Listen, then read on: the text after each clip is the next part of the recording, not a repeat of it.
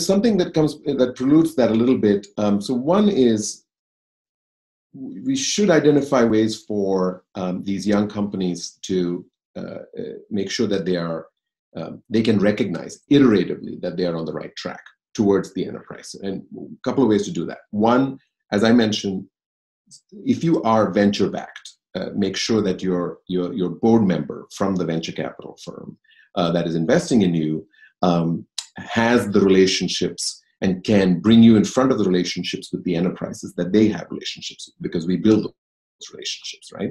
Um, uh, enterprises do. So we enterprises build relationships with VC firms because they are a diligence and a filter to get in front of some of these young companies. They, they can't go after every young company that's popping up, so they have to find a way to filter it.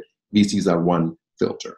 Um, so that's one thing. So they can do is if you're VC backed, you should try and identify the board member who can give you access to enough uh, of enterprise um, kind of leadership, if you will, technology leadership. The second way to do it, if you're not VC backed, or even if you are additionally, uh, is to um, identify people in the, in the technology network um, who are uh, qualified to be board members, advisory board members to you early in your in your product life cycle, right?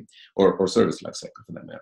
So uh, advisory board members being if you if, if you are if you are focusing on one particular industry, healthcare, as an example, you want to make sure that there are enough folks who can be on your advisory board who can give you insight into that industry.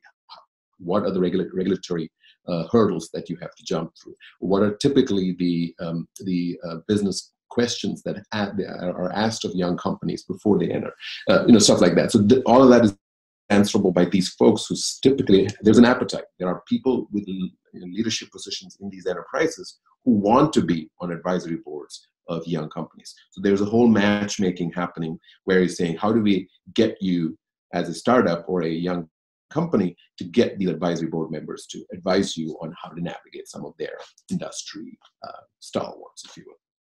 So that, that, that yeah, that, that would be a good, that would be kind of a good next step in terms of saying how do we kind of get in front of the right people? Let's, how, how do you make sure you're not wasting time? Uh, one of the things uh, I'll warn, I, I typically warn young companies not to do is very early on, they tend to want to get into a sales cycle right? They want to mimic the large enterprises. And what typically happens is they'll go out, uh, you know, spend hundreds of thousands, maybe millions of dollars of their, uh, you know, hard, you know, raised money from these VCs or otherwise, and then invest that in these sales folks from large vendors, IBM or Cisco or VMware or whatever.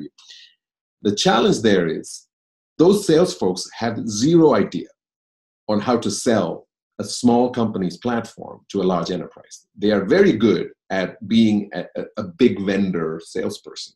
So that, that, that right out of the gate, that is a wrong step. You are you are essentially shooting yourself in the foot by having these sales folks so early in your product cycle uh, eh, you know messing up your everything from your cash flow to your uh, your your, opportunity to market yourself right the opportunity to discover the right business cases all of that all of that is lost out the door. So i prefer that you you prioritize getting the right vc board member investing investor board member to eh, advise you or build a customer advisory board to be able to help you kind of get in front of the right folks